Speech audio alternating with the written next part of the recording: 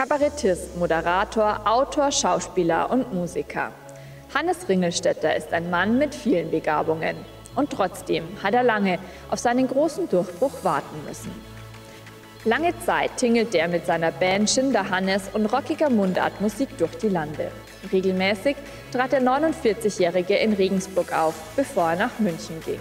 Rückblickend sagt er, es ging halt 20 Jahre lang nichts weiter. In der BR-Serie Hubert und Staller spielt er seit 2011 einen etwas windigen Geschäftsmann. Seit 2016 hat er seine eigene Late-Night-Sendung.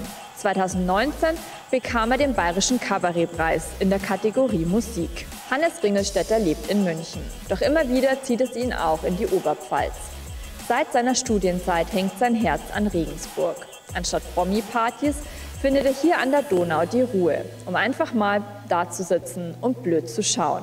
Das findet Ringelstetter nämlich, werde viel zu häufig unterschätzt.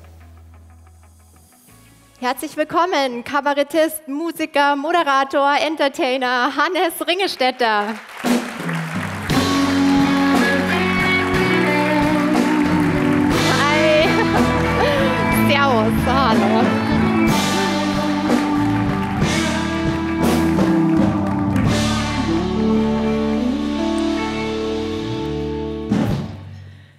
Ja, Hannes, da hocken und blöd schauen. Ich finde auch, das wird völlig unterschätzt. Wie oft nimmst du dir dafür Zeit? Soll ich es machen jetzt? Ich habe es mir auch schon überlegt, aber es wäre natürlich gut für uns, blöd für den Rest irgendwie. Na, ich hab, äh, muss tatsächlich sagen, dass es mir langsam immer öfter gelingt. Also die Getriebenheit äh, macht manchmal Pause und dann. Also erst war es so, dass mir nichts anderes überblieb, als dass ich da sitze und blöd schaue, weil ich fertig war. Aber jetzt mache ich es ganz bewusst manchmal. Sehr gut. Wir freuen uns sehr, dass du heute Abend zu uns gekommen bist. Ähm, Partys und Galas und Events magst du Genau ja eigentlich meins. gar nicht Ja. so, gell? Und Na, das, obwohl genau du in. München wohnst, da gibt es genügend davon. Woher kommt das? Keine Ahnung, ich äh, sagen wir mal so, ich glaube, ich habe halt, äh, erstens langweile ich mich ungern und äh, zum Zweiten mache ich keinen Sekt.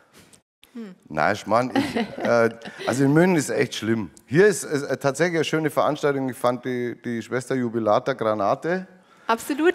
und äh, es ist äh, eine schöne Veranstaltung. Ich war noch nie da in dem Marina Forum, das nach dir benannt ist, glaube ich. Absolut, klar.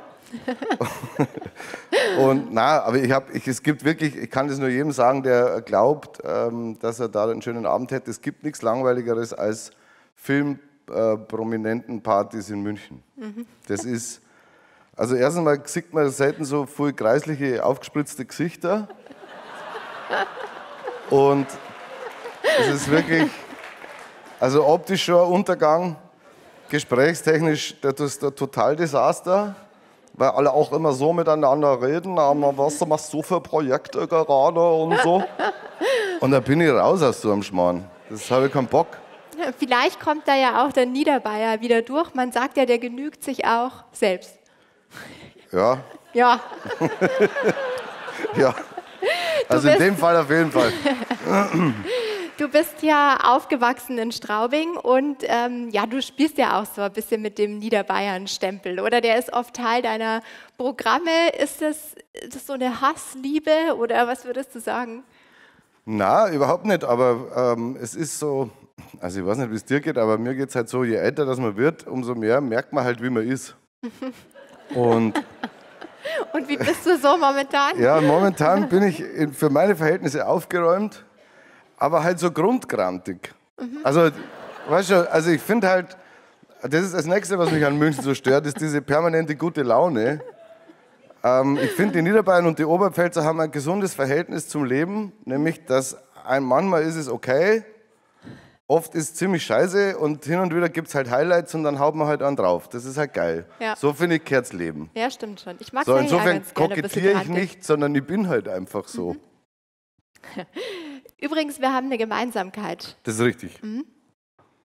Ist auch ein Forum nach dir benannt, oder? Nee, aber ich habe ja die Woche in der Sendung gesagt, ich würde gerne die Namensrechte kaufen von der Continental Arena. Genau. Ich weiß nicht, vielleicht ist heute jemand hier vom Jahr. Dann könnt ihr 340, nachher. 340 Euro im Monat Dauerauftrag würde ich raushauen.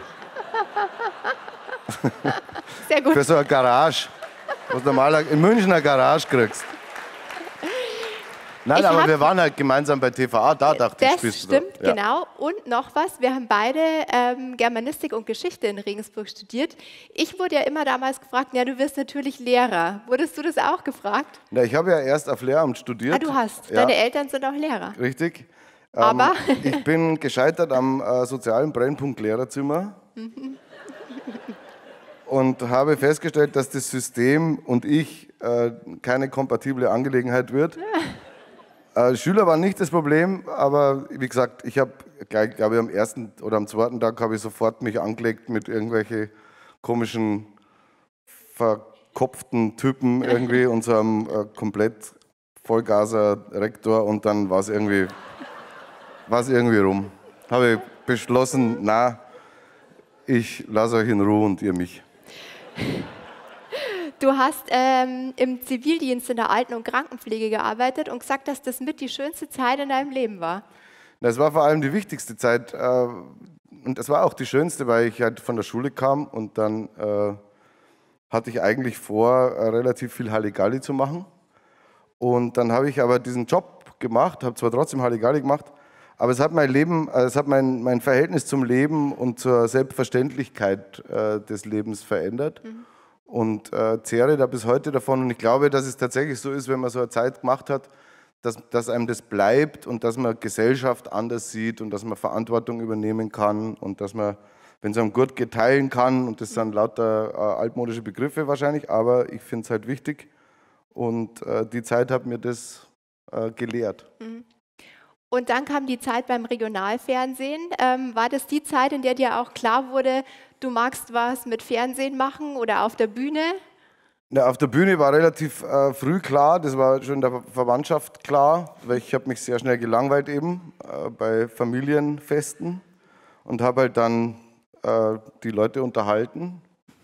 Sehr fragwürdig vermutlich, aber ich habe es halt gemacht und dann war mir irgendwie klar, das wird wohl, also vielleicht geht es in die Richtung. Und beim, bei TVA, muss ich wirklich sagen, habe ich äh, alles das Handwerk halt gelernt und dafür ist äh, die die sind so Sender so wichtig und äh, regionale Medien so wichtig, weil du dort wirklich alles lernst. Und ich war da ja lang und mit äh, schwerer Begeisterung und äh, muss gestehen, dass ich immer noch, ähm, ich finde es immer noch geil.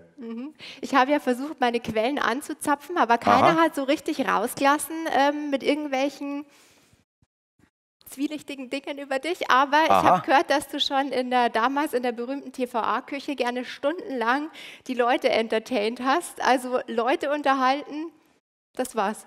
Also stundenlang habe ich gar keine Zeit gehabt bei diesem Hardcore-Arbeitgeber. habe ich aber was anderes gehört.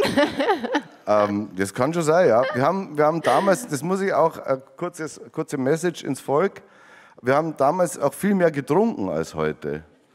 Ich finde, das ist ein großer Fehler von Unternehmen, dass die Leute immer alle heimgehen und zu irgendwelchen äh, schwindeligen Aftershow, äh, Afterwork-Partys gehen, statt in der Firma sich halt gemeinsam zu besaufen, was eine total gesunde Art ist, den Feierabend zu verbringen. Mehr trinken, mehr blöd schauen, Ja. haben wir schon zwei extrem wichtige Sachen. Hannes, äh, bei dir kam ja der Erfolg ähm, auch nicht über Nacht. Nein. Du hast äh, ein Buch geschrieben, Paris, New York, Alteiselfing auf Ochsentour durch die Provinz. Der Titel sagt eigentlich alles. Ähm, Gab es Momente, wo du dir mal gedacht hast, ich lasse den ganzen Mist und mache jetzt irgendwie was Gescheites? Das meine ich ja jetzt gar nicht böse. Schöner Ich Satz, meine mit Marina. dem Mist. ah, egal, ich sage Äh, jetzt nichts doch, mehr. Komm nein, mal das, raus. da- Das du gab, weißt, wenn ich so viel Zeit habe, will ich das kurz erzählen. Es gab tatsächlich den Moment, das war 2004, ähm, da war ich komplett, ich kann es nicht anders formulieren, es tut mir leid für die Menschen, die Stil haben. Ich war komplett am Arsch halt und dann habe ich mir gedacht, okay, das wird alles nichts und es ist rum. Und dann habe ich eine, eine Anzeige gelesen äh, für eine Marketingstelle eines Softwareunternehmens in Ampfing. Dann bin ich da hingefahren und dann bin ich in dem Hof gestanden von diesem Software. Ich, meine, ich verstehe von Computer äh, nichts. Ich So, ja also gar nichts. Ja, Und dachte mir, Marketingabteilung, du musst halt labern, das wird schon irgendwie gehen, keine Ahnung. Und dann bin ich da, bin ich da auf dem Hof gestanden und hinter dieser Firma ist dieser Fallschirmsprungplatz. Äh. Und dann haben wir gedacht, na, bevor ich da jetzt reingehe, springe lieber und mache ihn nicht auf. Und dann habe ich meine Mutter angerufen und habe gesagt, Mama, es tut mir echt leid, ich habe es versucht, ich bin in Ampfing, aber ich fahre jetzt wieder und schreibe ein Lied drüber oder irgendwas. Es, ich, ich, es hat nicht, ich habe es mir oft gedacht, natürlich. Mhm. Und äh, das war auch nicht immer lustig. Mhm. Aber ging halt nicht anders. Mhm. Musik ist ja auch für dich ein ganz großer Part. Ich glaube, erst klassische Musik, dann wolltest du Rockmusiker werden wegen den Was Mädels. heißt, ich wollte, ich bin. Bist du ja, ja. Entschuldigung. Welche Rolle spielt Musik in deinem Leben? Das ist meine ähm, Kraft. Mhm. So, ich mache nichts lieber und wenn alles andere im Bauch geht, dann das mache ich immer. Man kennt dich von der Bühne, aus dem Fernsehen. Wie schaut denn eigentlich der leise Hannes Ringelstädter aus? Wir haben es auch gerade gesehen, dass du dich gern mal zurückziehst und die Ruhe genießt. Wie stelle ich mir das vor? Leise? Leise. Nein, ich bin. Äh, ich flack wahnsinnig sexy auf der Couch, finde ich. ähm, ich gehe sehr gern spazieren und ich gehe in Schwammerl und ähm, ansonsten spiele ich Gitarre oder Klavier und äh, schaue wenig fern, mhm. außer mich. Mhm. Aber auch nur, weil ich muss, weil ich dann ständig irgendwelche Besprechungen habe, wo mir irgendwelche BR-Redakteure sagen, wie ich da war und wie die Quote war und wie die Leute das finden. Und dann denke ich mir, das muss ich mir jetzt schon nochmal anschauen, ob das wirklich so ein Schmarrn war. Stelle dann fest, ja, sag's aber nicht. Okay. Nächstes Jahr steht für dich ein runder Geburtstag an. Na, wie schaust du dem Dank. entgegen? Naja, also ehrlich gesagt, ähm, habe ich überhaupt keinen Bock auf 50 werden. Ähm, ich werde am Gardasee sein, mhm. werde wie jedes Jahr das Handy ausmachen und werde mich fürchterlich betrinken. Das ist mein fester Vorsatz. Ich habe aber ein Haus gemietet am Gardasee mit einem äh, Zaun, mhm. dass ich nicht super. Nein, voll. Also so weit habe ich verstanden, dass man im Alter Vorkehrungen gegen sein eigenes Verhalten ja, entwickeln muss. Alles klar. Und das wird bei mir immer schlimmer. Ich muss mich immer mehr schützen ja. vor mir selber. Aber ich habe das Gefühl, je mehr ich mich vor mir selber schütze, umso leichter werde ich äh, erträglich für die anderen. Der Zusammenhang verstehe ich noch nicht, ich nehme ihn nur wahr. Gut. Ich kann nur sagen, du warst sehr erträglich hier und ich freue mich sehr, dass du da bist und freue mich später ein bisschen blöd schauen und was trinken vielleicht. Vielen Dank. Sehr Dankeschön. gut, schön, dass du da bist. Hannes Ringestetter. Ciao. Ciao.